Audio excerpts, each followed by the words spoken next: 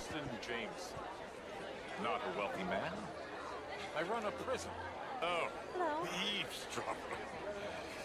I had to get away from that awful major crowd pontificating on law and order. You should see my prison. That's what law and order looks like. Hopefully as a visitor, not as an inmate. Indeed. Well, enjoy the rest of your evening, sir. Now, why don't you apologize to the lady for pointing a gun at her? Excuse me? I said apologize. I'm sorry, ma'am. Ain't no harm done. So, where do we go? Towards the entrance, I guess. And who's in charge of this fine establishment? Mr. Jameson? Sir? Jameson? Heston Jameson? Yes. Not his brother, Archibald. He owns the mine. Up in Annesburg. My God, what a family.